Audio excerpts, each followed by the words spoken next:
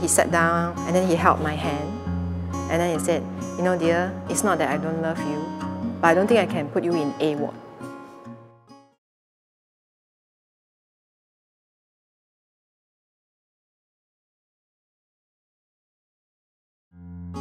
Motherhood to me is fulfilling, but with great costs on a woman's health and body. For duty and love, a woman often neglects herself and forfeits her fitness. But we can only fulfill our duties and love as mothers if we learn to keep ourselves active and healthy. Once a school physical education teacher and now a fitness trainer for new mothers, Kareen is who you'd call a fitspo. However, that doesn't mean she has it easy in her journey of becoming a mother herself.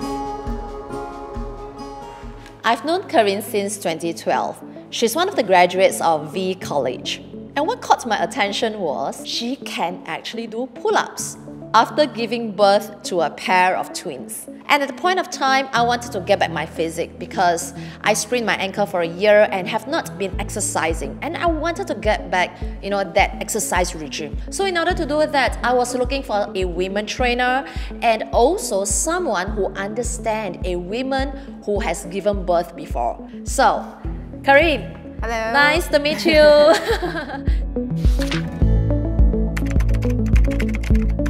Yes, I understand that when you were in uh, Nanyang Business School, you were actually taking business. But why, why did you choose physical education? Have you been like uh, a very active person? Yeah, pre pretty much. I've yeah. been an active person, and even when I was in NTU and since college time, I, I was a climber. I climb, I climb oh. a lot, and I climb competitively. Um, during uh, university time. So yeah, pretty much climbing and then after that I uh, progressed to coaching other people how to climb, like you know, teaching kids and all that. So I had been kind of like teaching. Okay. So, and I thought physical education was good. It's a good mm. subject to teach, right? Because you kind of like get to move around and you're out in the field with the kids, right? Wow. And all that. So in the year 2010, when I was teaching, I, I got pregnant. Mm. And then it was an unexpected pregnancy. Okay. And then and everybody was like, wow, yeah, wow, wow, wow. but they didn't know that, you know, there's a lot of things going on, oh. you know, oh. behind, behind the pregnancy. Okay, maybe share a little bit more about this pregnancy with twins. Uh, yeah, mm. so, so that was a difficult pregnancy. Yeah. But then at 27 weeks, uh, at the gynae check, um, uh, the results was that, you know, I actually had a preeclampsia. So, so there was a urine test, right? Okay. There was a high protein level. So it's an indication that there's a high blood pressure. Preeclampsia simply means high blood pressure during pregnancy. Um, it only occurs during pregnancy and it will kind of like be gone once babies are delivered. It means that at 27 weeks, I went to KKH and KKH wouldn't let me go home until the babies were delivered at 31 weeks. And that was about four to five weeks. Why, why did you choose a public hospital instead of going to a private hospital? So I was actually following up with a private gynae and then once she saw, okay, twins, you have this condition, straight away she wrote a referral letter, asked my husband to bring me to A&E at KKH immediately. This entire episode of uh, pregnancy and delivering and giving birth to twins was uh, difficult at that point in time and I had to take a break from teaching for a while because the twins were early, right? 30, 31 weekers. You mean you gave birth at 31 weeks. Yes, 31 which weeks. Which is less than 8 months of pregnancy. Yes. Oh. So Kieran was only 1 kg. Uh, Kieran uh, is... Uh, it's uh, twin 2, the boy. Twin 2, okay. and, and, twin 1, Asha, she was 1.6 kg. Wow. Yeah, so very tiny, like, you know, they literally fit into this uh, on a palm like that. But then they were in the incubators, of course.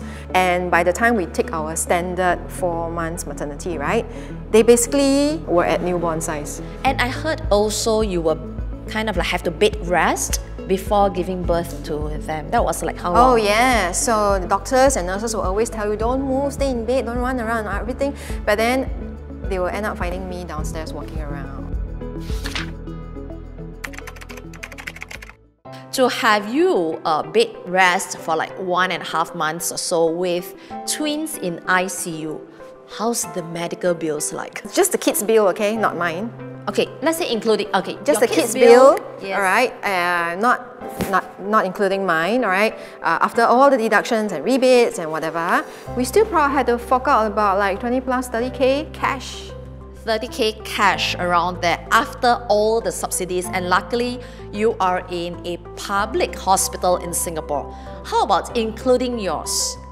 Uh, including mine. So for some reason, luckily mine was claimable by insurance because I think one or two years before that, NTUC income actually included preeclampsia as one of the conditions that you can is claimable. So which was pretty lucky. They pretty much covered the hospital the hospital stay. So after subsidy and all that, my portion of the stay was about 5k plus. At 28 years old to fork out like for example 30,000 cash, cash yeah. is really a lot Do you know money. how long we had to save for 30 30k, right? Yes, and not to say before that, uh, a year or two ago, you have to invest invest in your marriage mm. and your new home. Mm, mm, yes, mm. correct, correct. So a lot, there's a lot of cash out already, mm. right? And I'll tell you something that which I will always remember. So, so you know, I'm the one lying in bed and all that. So my husband's the one like settling all the administration, talking to the doctors, going to the admin office for uh, for uh, admission and all that, right? So he came back from the admission office and then he sat down and then he held my hand and then he said, you know, dear, it's not that I don't love you, but I don't think I can put you in A ward. I think a lot have to do, it also has to do with expectations again, already at that point in time. Because most of your friends and all, they, when they give birth, or you see them going to A ward and then Thomson Ward, and then they have this nice suite and all that, and then you get to rest in peace, you know, in, in your own room and all that, right, after delivery and all that. But I'm like, huh? I go through four weeks of all this and after delivery I still cannot like, you know, sleep in peace or rest in peace in my own room. And yet I also know that it's, it's a real situation, how he's just being realistic because if I had stayed in A ward, the kids' ICU bills and follow-up bills and whatever, everything will be private. Yes. It will not be 30k. Yes, it will be a six digits probably, right? Because yes. uh, there won't be any form of a subsidies yeah. uh, if uh, we were to stay in the mm. highest uh, level ward. Mm. And I heard your second pregnancy is also not that cheap also, right? So maybe you want to share about after that the next pregnancy because you have your third child mm. in your second pregnancy, yes. Yes. Um, yeah, not not that cheap, but okay, cheaper. yeah, so in 2019, um, I, I, got pregnant again unexpectedly, you know that. and then um, this time around, it was a little bit different because it was one baby, mm. right? So to me, I felt like, you know, oh, finally I can I can, you know, maybe it was, uh, you know, the universe uh, signal to tell me that I can enjoy a normal pregnancy as per any normal woman, growing pregnancy. I can do my prenatal exercises, you know, then I can go through a VBAC delivery. Basically means a vaginal birth after C-section. So because of the twins, the first uh, delivery I had was a C-section, and then if I want to go through a normal, you know, vaginal birth, it's called a VBAC, right? And I thought I could do that, right? You know, the experience, you know, what natural delivery and all that's all about. Because having learned all about women's health and fitness and all that, I also have a little bit more understanding and understood that, you know, uh, the a natural birth process has a lot of positive effects uh, for both mother and baby. So this is expectation, right?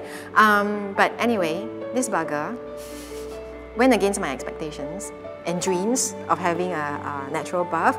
He kicked open and burst his water bag at 34 weeks. Right, so um, so everything went down again from there. So then once again, uh, from a private doctor, I had to make the decision to go to KKH again. This time around was a little bit different. The doctor did not send me to KKH. I got to make the decision myself. Part of the biggest factor to us for making any decision was finance. Right? Because you have to think about it, right? At 34 weeks, if baby is coming out within the next two weeks or so, it's still going to be ICU, right? And if it's ICU, then oh my gosh, I'm going to get bankrupt again. so abdominal separation is really the first uh, uh, so-called issue, you know, or condition that got me interested okay? And then when baby pops, it doesn't mean that it pops back in, you know? right? What took nine months to expand will take at least nine months, if not actually usually much more longer time to get back to normal again.